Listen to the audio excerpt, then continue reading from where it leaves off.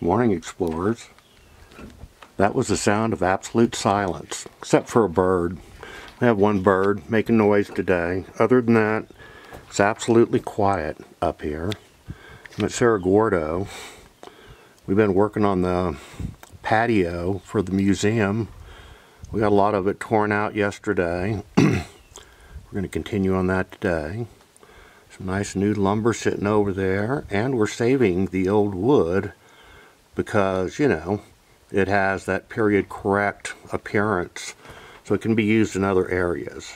So, anyway. Understand that deck was built in 1989 by, I'm sure, Mike Patterson and friends.